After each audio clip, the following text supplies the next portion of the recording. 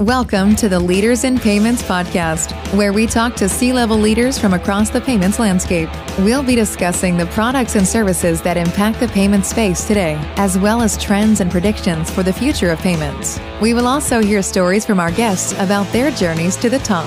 I think that we will continue to see continued innovation around the space. It is becoming, and EWA will continue to become a priority for employers over the next three to five years. Outside of those key verticals that we've seen early on, it will expand across verticals.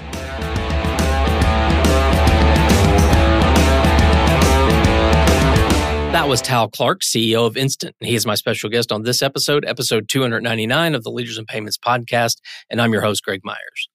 Instant strives to give every working American fee free access to their earned wages when they want it, where they want it, and how they want it. Tal and I talked about the earned wage access market and what makes Instant unique and different in the space. We also talked about Tal's journey from Marine Corps helicopter pilot to Instant CEO. We've got a great episode ahead, so let's get started.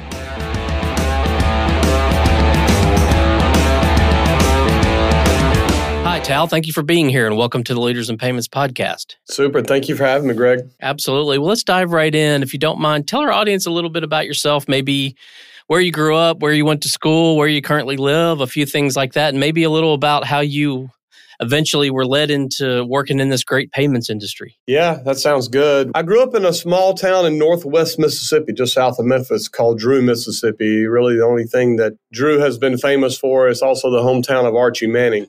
who's a few years older than me, but that's sort of its claim to fame.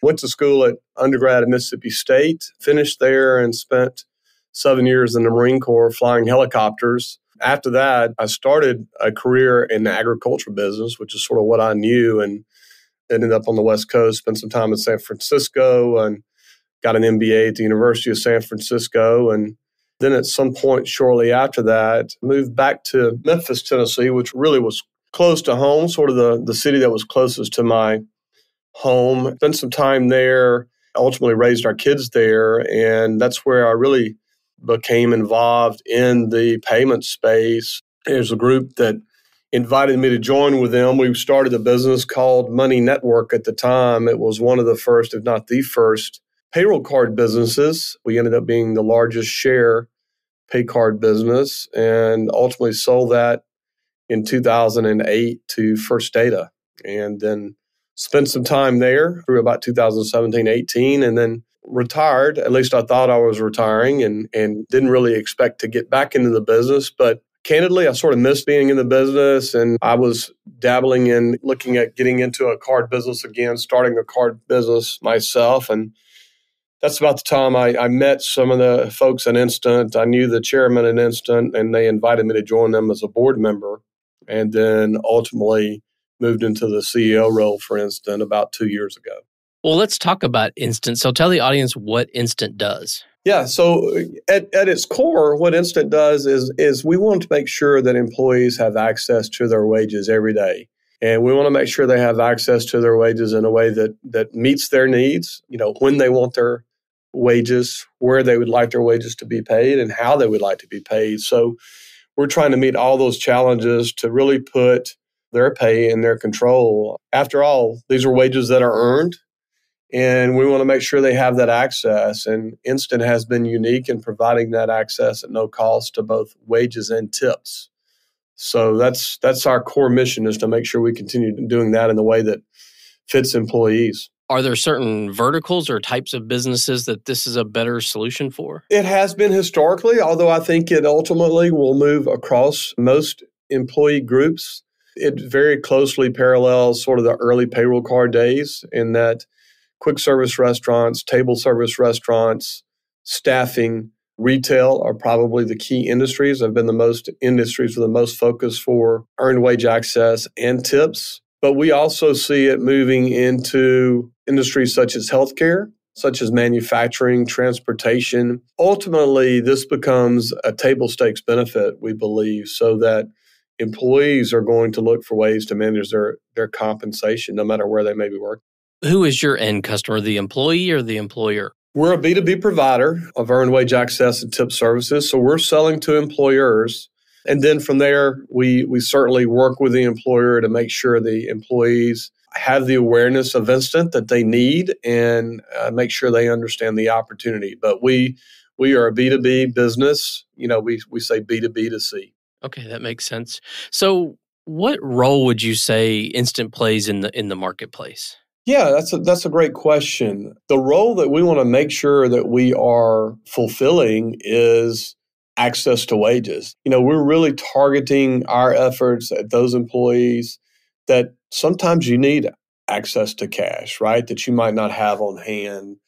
And through surveys that we've done, we understand that the alternative to you know what we can provide as earned wage access generally is not is not a good one right high cost payday loans. Sometimes you know people borrow from family members. We also know that people need cash. They might sell things on ebay they might not otherwise sell. So what we're really trying to do is is fill that gap between paydays so that employees have access to that cash when they need it you know for those emergency situations or situations when they just need to buy something they're not expecting. So uh, that's really the role, and, and our goal is to make sure we can fulfill those needs.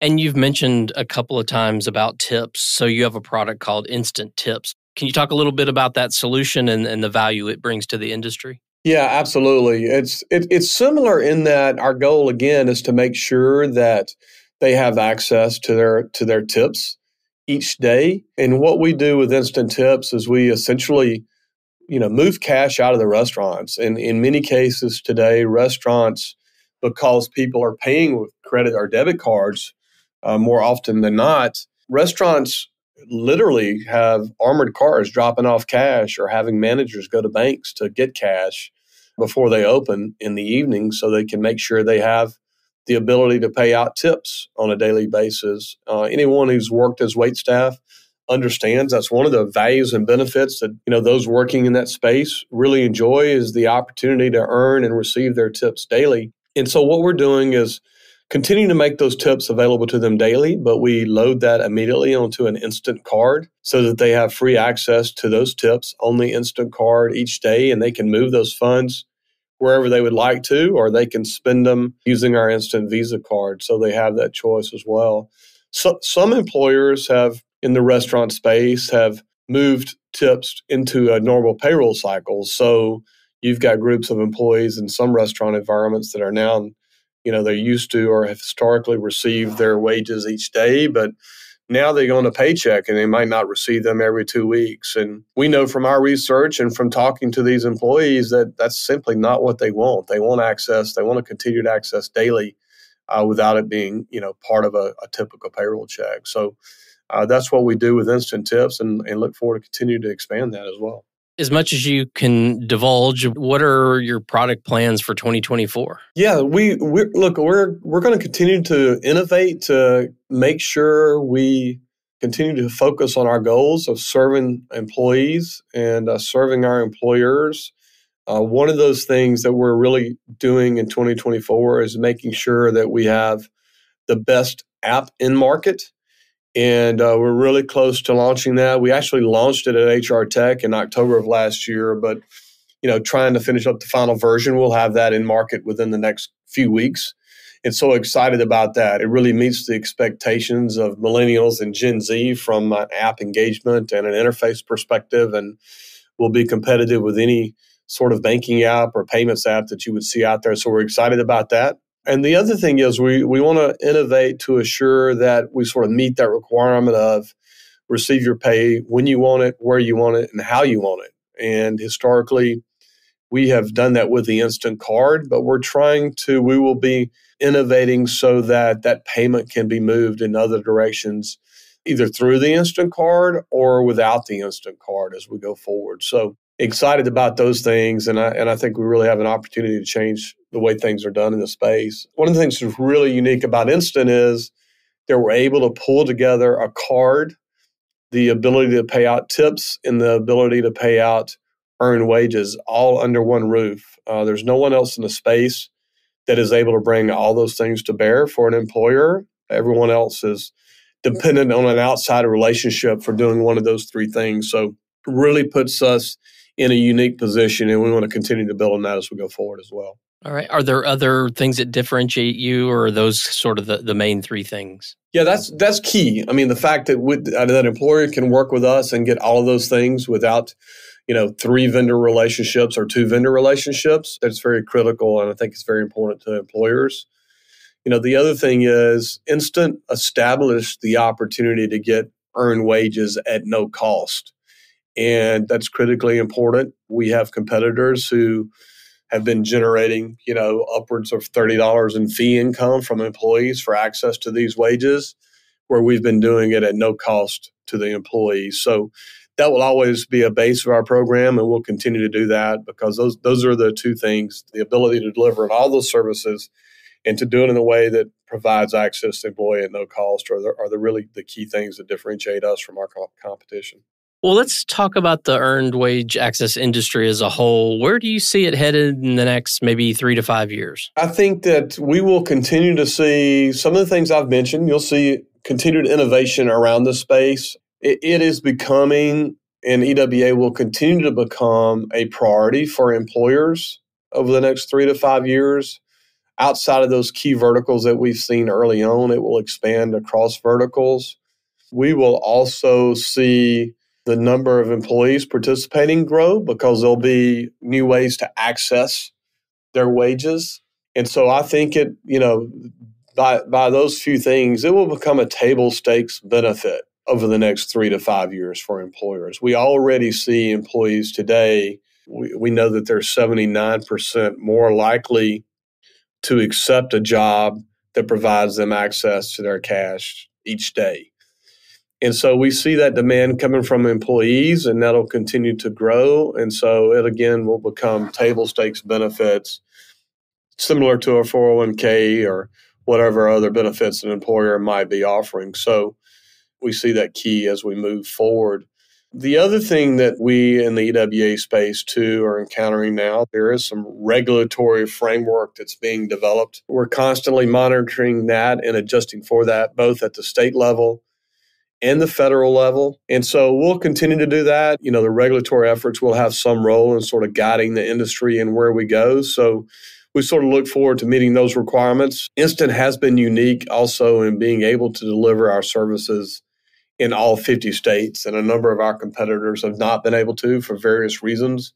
And so we'll continue to do that. Today, we're working in Nevada and Maryland Missouri and other states that have had changing legislation to make sure we meet those requirements. So as we go forward, those will be things that we'll need to continue to work on. You know, I think in this space, sometimes there's a misconception, or at least, you know, I've, I've done several interviews with companies in this space, and there can be this misconception of earned wage access being similar or like a payday loan. So, what, what are your thoughts on that? Yeah, I, well, look, honestly, I think it's, it depends on the model and uh, how it's delivered and what employees are required to pay for that access. Uh, let me start by saying that at, at, a high level, earned wage access is, is nothing but a good thing. And in almost every model, it's a benefit for the employee when compared to the alternatives, right? So it is it is certainly puts employees in a better position than being required to go to. Uh, you know, a payday loan business on the corner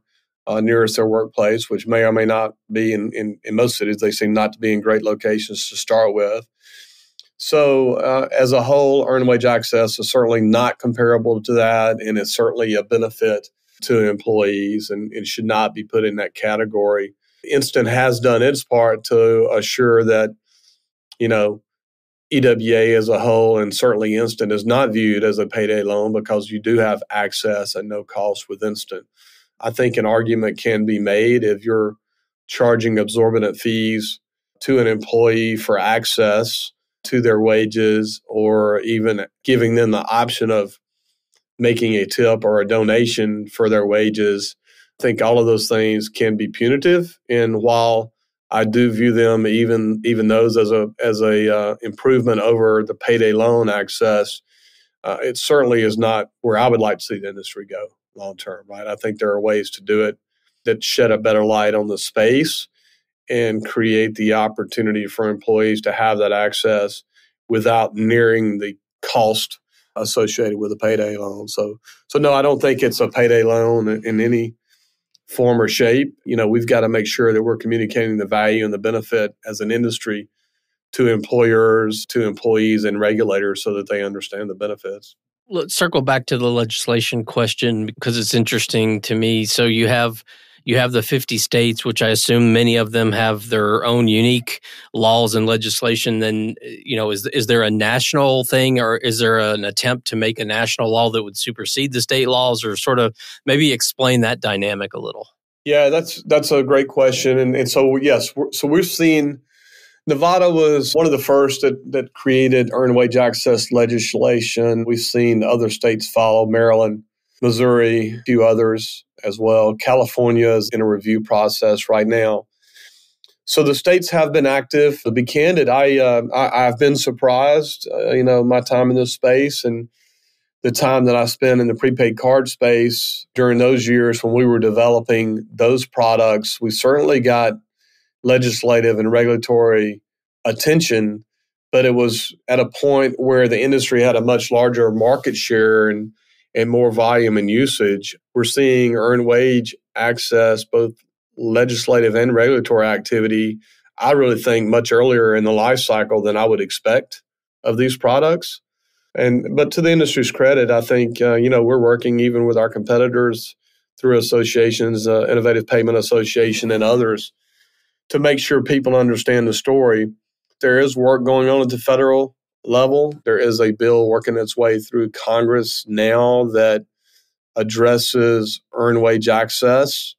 We also are seeing uh, activity from the CFPB and believe there will be some rulemaking at some point from the CFPB. So I do believe that there is a preference that if we could have some federal rulemaking or federal legislation versus you know states doing their own different thing because in many cases these states have pursued uh, separate requirements separate rules things that are different some are easier than others and it would be i think better for the industry that if we had some federal regulatory guidance or rulemaking from the cfpb or legislation would probably be helpful to the space but i think we're all going to have to kind of wait and see how that works out. But I do believe it'll be an active year in 2024 for some of that. So, this is a question you may or may not know the answer, but I, I think it's interesting. How did we get to where wages were paid every two weeks? I, I would tell you that I have a pretty good hypothesis there. So, I think that if you, I mean, if you go back through history, wages were paid daily and wages were paid in cash. And they continued to be, you know, we were an agrarian society up through World War II for the most part, and, and wages were still paid daily or so. It really started with the advent of direct deposit. Well, moving to checks first. So it started with the movement to checks, you know, led by companies that were paying a lot of people on behalf of employers and writing a lot of checks. And extending the time between those checks became a financial incentive for for those businesses, right? And then as we moved into direct deposit, the same thing was true. So in many cases, if you were paying via direct deposit through large payroll organizations, you would receive funds on Wednesday for payroll that would not be deposited or, or access provided until Friday, and Wednesday may be the latest. So you take a large amount of cash that was flowing into the accounts of these payroll companies and still does today is to their benefit to hold that cash as long as they can, right? And to get as much of it as they can. So payroll cycles have been extended in large part for that reason. It's it's financial incentives for the businesses that were handling the payroll. And it was, you know, also some incentive from the employers part from a workload perspective, right? If you're doing payroll biweekly instead of weekly, then obviously you have less cost in that payroll. So those are the things that that's that's sort of what got us to where we are, which is you know it's their financial incentives for either the companies that are processing payroll or businesses themselves to stretch that period as much as they can. And that's why I think it's so important that we find ways to help these businesses get back to providing that access on a daily basis. And, you know, many of the businesses want to do that. I'm not sure that that all of the payroll companies want to do that. I don't think it's you know ultimately if we can get to the point where we're paying everybody every day, uh, that's there's not a lot of float incentive involved in that for the companies that have been generating a significant amount of revenue off of payroll float over the years. Yeah, makes perfect sense. Okay. So let's switch gears a little bit and talk about you. And you talked about a little bit of this earlier, but maybe go a little bit deeper. So you were a helicopter pilot, which I, I think in the 294 episodes I've done, you're the first one. So, okay, um, good. so you got that going for you. Maybe fill in the time between then and maybe Money Network if there was a, a, time in there you did other things, and then maybe talk a little bit about from sort of Money Network, like what what led to the start of that. How did you get involved in that, and and maybe forward to your to your role now? Sure, sure. Well, just stop me if I'm if I'm giving you too much, but I left the Marine Corps in uh, '93 and my background and my family's background was in, in agriculture. So I went to work in agriculture business for a U.S. subsidiary of a company, a Sumitomo Chemical out of Japan. And it was a very interesting time. It was a role I enjoyed. It was, and it's a great industry to be a part of still today. I've got good friends in that industry. And started as a sales representative for them, covering uh, the southeast, south parts of the southeastern part of the United States. And really enjoyed that, and then uh, moved out to their corporate office in San Francisco Bay Area, specifically Walnut Creek, and spent about two and a half, three years out there. And it was a great time to be in the Bay Area. It was sort of the during the internet boom, and I learned a lot. I worked on my MBA and got that out there during that time, and really expanding my knowledge of just business in general. I worked as a planning analyst and a product manager, and then uh, spent some time on M and A activities in that business. Uh, learned a lot about the Japanese culture, which was interesting and really enjoyed that. Did that for a few years. And then after that, I uh, had an opportunity with that business to move back to Memphis, which again was sort of home for me and really enjoyed our time there. But we spent the next 20 years in, in Memphis, and about three of those years were continuing that agricultural business, running a regional sales organization for that business. And then had mutual friends that had the idea of uh, prepaid payroll cards. And at that time, it was a novel idea. It was, you know, we've got a ton of people who cannot access their pay via direct deposit because they don't, they're not in an environment that allows them to establish a checking account.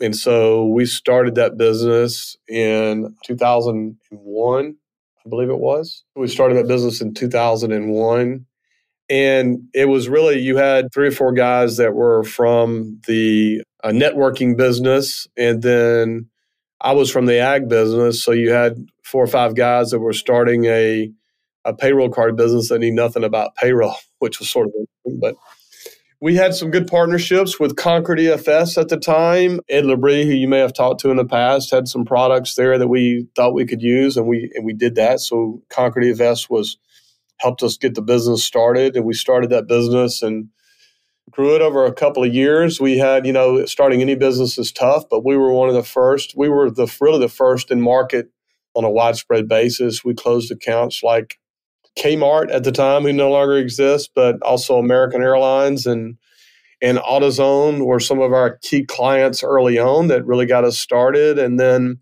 you know, we were winning deals in the marketplace and we're recognized for that. And at one point, we were competing with ADP, but uh, after winning those few deals and, and them seeing our solution, they they formed a partnership with us. So we ended up becoming the payroll card for ADP, which ultimately sort of was the you know sort of the rocket ship we needed for that business and did that and then we won we won Walmart probably about 2006 or 2007 and then so obviously the business was growing really fast. We ended up with the largest share in the prepaid payroll card space and sold that business to First Data in the summer of 2008. That's that's the story of Money Network. And then from there, I spent about 10 years at First Data doing numerous roles, um, senior leadership roles there, leading the prepaid business for both open and closed loop. Spent some time establishing an international footprint for prepaid, primarily in the UK and Mexico, and, and we looked at Singapore and some Asian countries there. So we we did that for a while. And I had sort of left behind the money network business to do other things with at, at First Data, but then uh, was brought back in to that business. Uh, ran it for two or three years before I left First Data in 2018. So that's that's my history up until the point of getting involved with Instant. Well, let's keep on the theme of talking about you. What are some things you're passionate about? So maybe one work related passion and one personal passion. Well, work related, I've always I've always been involved in businesses that are both creating opportunities for others and, you know, serving others. And that's really what I'm passionate about. I want to make sure that I'm involved with businesses that have the right goals and are providing value and benefits to others, whether it's our clients or to those that, that work in the business. So that's what really drives me is the opportunity to do those things. From a personal standpoint, things that are most important to me are, are my faith and my family and really spend a lot of time on both and grandkids and kids and uh, really enjoy spending a lot of time with them and making sure that you know we can do everything we can to in, enjoy each other while we're every chance we have to be together so uh, that's really it for me. And then outside of that i do uh, a little from a recreational standpoint i still do some flying today and enjoy doing that when i have the opportunity. And between those things that really takes care of most of my time. Obviously you've had several leadership roles in your career. So how would you define success in leadership? Giving the opportunity, creating the opportunity for those around me to be successful, creating the opportunity for those around me to achieve their goals. You know, again, I really want to, I want to, I really want to create opportunities for, you know, our, our coworkers, our family, our friends, the businesses that we work with. I think as a leader, if you can create those opportunities and make sure that those that you're responsible for leading also have the opportunity to achieve their you know potential and achieve their goals that's really what it's all about for me you know and really uh, especially at this stage in my career making sure that uh, again we're we're creating opportunities for everybody at instant as an example to be successful. It's a uh, you know when we look at numbers and financials and and sales and all the things that we manage as a business, for me, it's about making sure that each employee here has the opportunity to be be involved with a business that's doing the right things and and look back on that time and know that they had they spent you know 5 10 15 years whatever it may end up being of their life in a business that was helpful to others and created opportunity for them and ultimately rewarded them and their families so that, those are really my goals and i think that's that's what leadership is all about. All right. Well, Tal, we've covered a lot of ground about you, about the company, about the industry as a whole. Is there anything else you'd like to add before we wrap up the show? No, I don't think so. I think uh, it's been great to have the opportunity to visit and appreciate your show. I know you've had a number of friends and acquaintances on here as well. And I, I think you're doing a, a, great thing by sort of bringing to light some of the innovation and, and personalities and good people we have in the fintech space. So appreciate that. Yeah, thank you so much. Well, thanks for being on the show today. I know your time is very valuable, so I really appreciate you being here. All right. Thank you, Greg. Thank you. And to all you listeners out there, I thank you for your time as well. And until the next story. Thank you for joining us this week on the Leaders in Payments podcast. Make sure you visit our website at leadersinpayments.com, where you can subscribe to the show and where you'll find our show notes. If you enjoyed listening, please share on your social channels as well.